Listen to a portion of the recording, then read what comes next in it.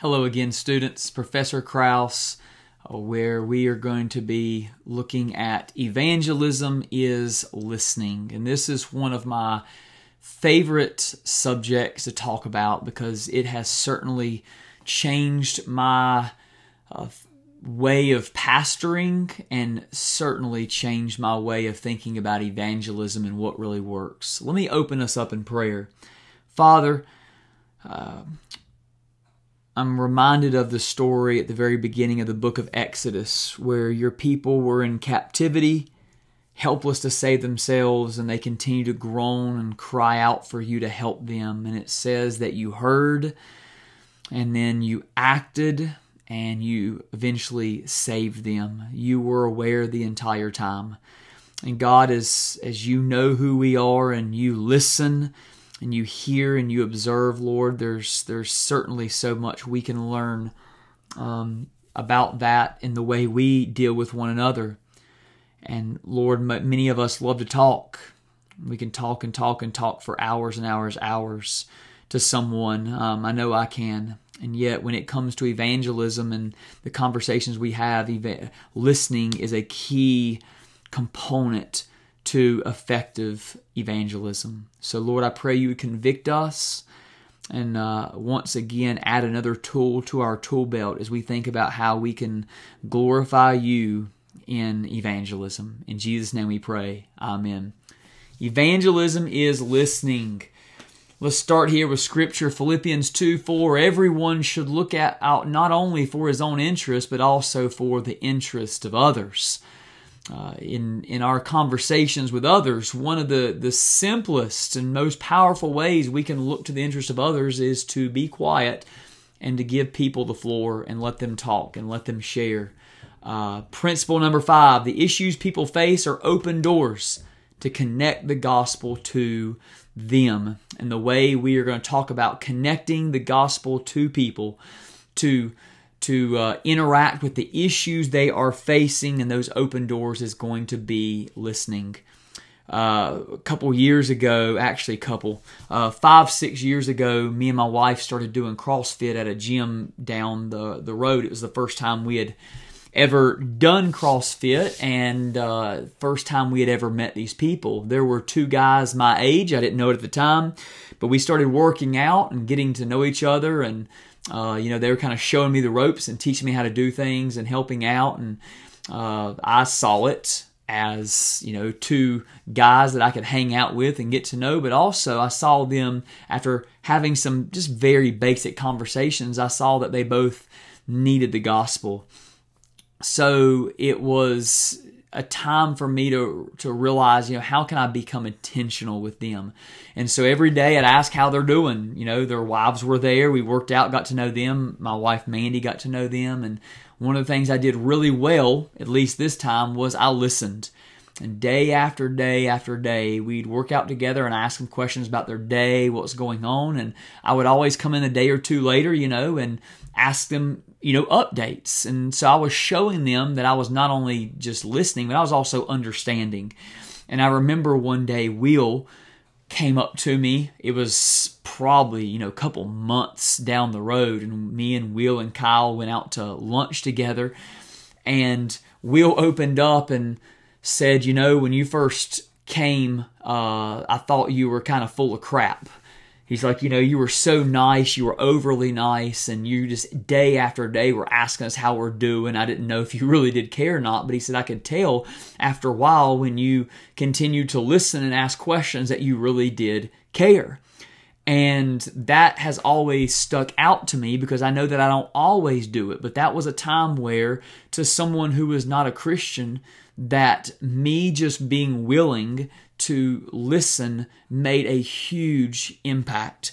Uh, you know, the authors tell a story, page 68 and 69 of the book, of you know leading a group of students door to door evangelism. They come across this tattooed man and begin to talk with him about Jesus, and he asked, you know, he's cordial and uh, they're asking questions and stuff, and the conversation seems to end, but uh, a little girl runs out, and uh, one of the, the, the people in the, the book, the story, uh, says, you know, oh, my daughter just had a, a daughter.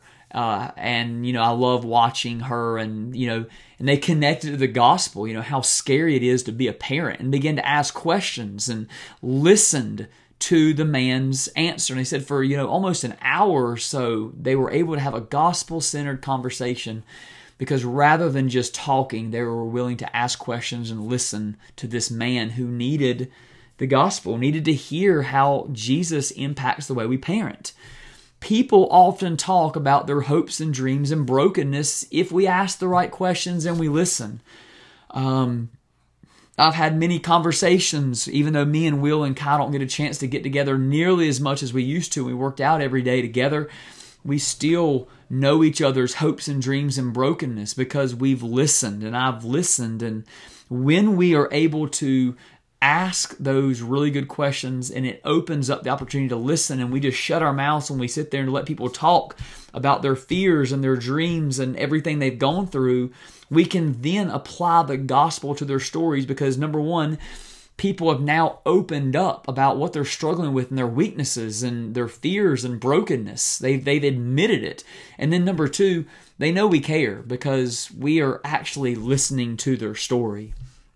Now, if we go into a conversation with only a prepackaged presentation, we might end up missing a very clear opportunity to speak into the blessing and brokenness of someone's life uh, if we introduce ourselves and you know even to someone that we maybe a worker that we know well enough and we just every chance we get we're sharing bible verses and stuff with them. You know you can't go wrong sharing bible verses but if we've never given them an opportunity to share about themselves and you know share about what they're going through and what's going on in their lives then we are going to miss clear opportunities. It's very likely that people um, will not want to talk with us as much and maybe even question whether or not we really care about them. Why? Because we're just talking to them rather than actually listening. So, whenever possible, we want to listen and create opportunities to listen.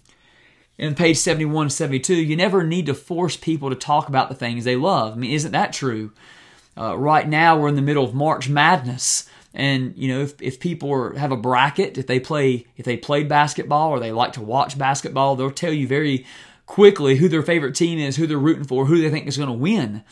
Uh, what people do on the weekends, the things they love. People love to talk about those things. They say it's not a burden for them to tell you about their families, their jobs, and their various life interests. Dreads and worries will tend to find their way into everyday conversation because they're never completely out of mind. I mean, right now, I'm recording this lecture, we're at the very beginning of an election year. And it doesn't take much prodding to get people to open up about some of their worries about, you know, politics or what, the way the world's going, the wars that are going on, the, the the inflation. I mean, there's so many issues, and if we give people opportunity and we value them enough to let them talk, it's just a matter of time before those dreads and worries and fears and the reason they're anxious about stuff will come out in conversation. The question is, are we listening? Are we listening? Are we there to sympathize with them so that we can apply the gospel?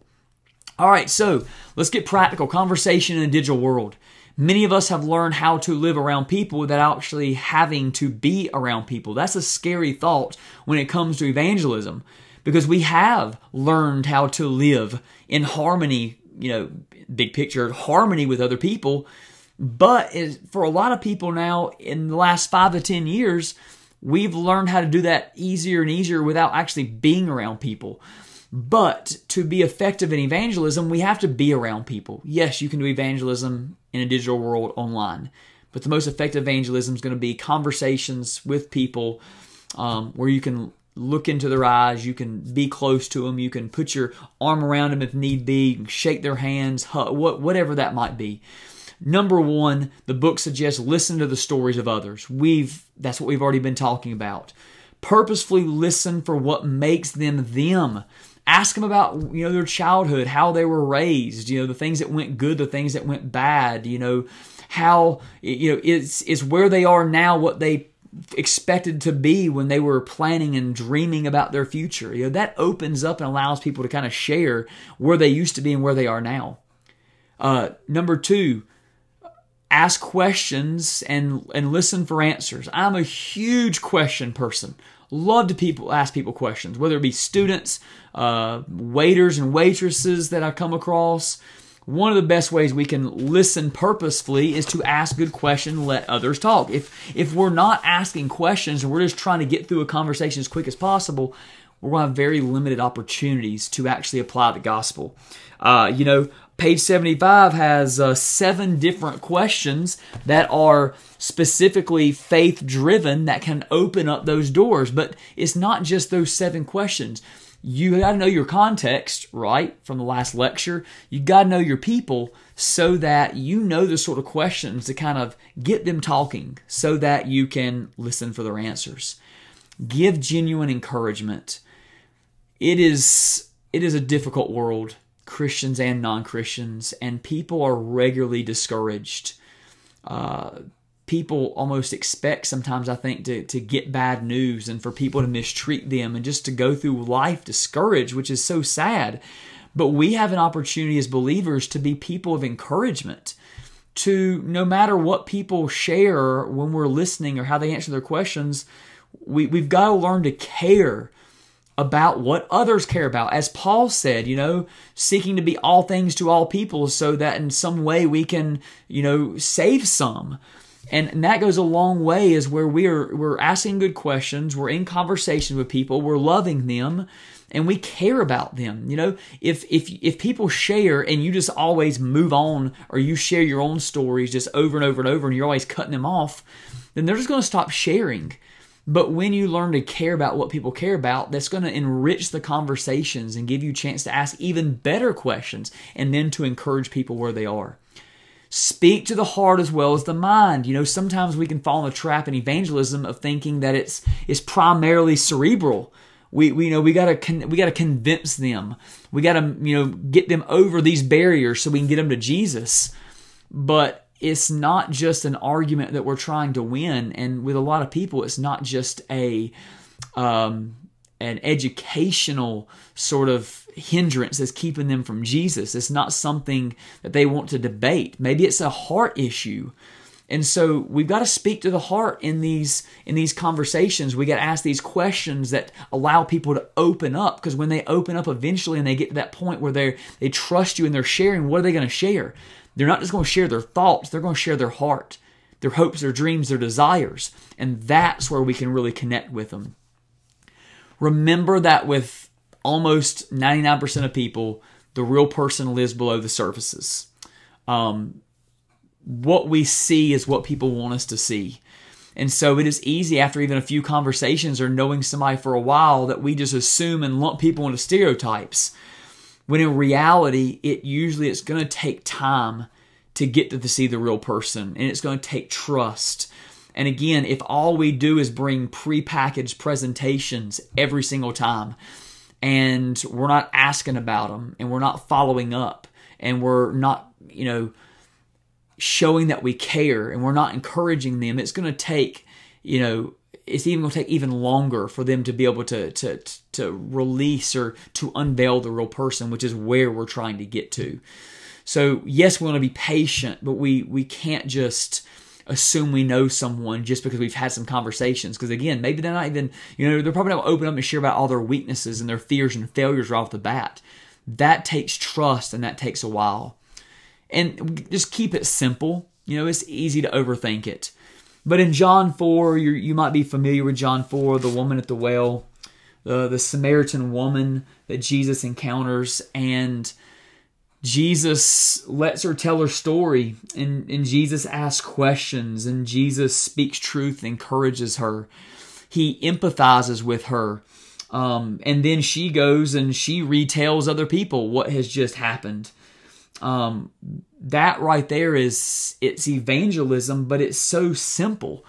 Jesus doesn't just have a prepackaged gospel presentation that he uses for all people. That in this case, he speaks right into her reality.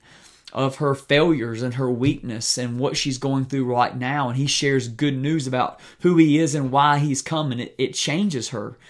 In the same way, we need to view people through that lens that Jesus views her as an image bearer that, that God loves and God created to know him so that we are able to empathize and we want to to encourage and we want to listen um, and and that is one of the one of the easiest most effective ways for us to do evangelism well right now is to just be good listeners.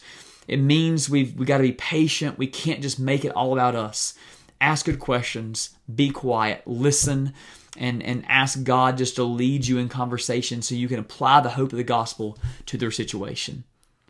I hope this uh, lecture is helpful, and I really do pray that it's encouraging because every single one of us can be faithful and effective evangelism, and every single one of us can be good listeners if we're willing to care about the interests of others and not just ourselves. If you have any feedback or any questions, please feel free to leave a comment on YouTube or reach out to me by email. God bless.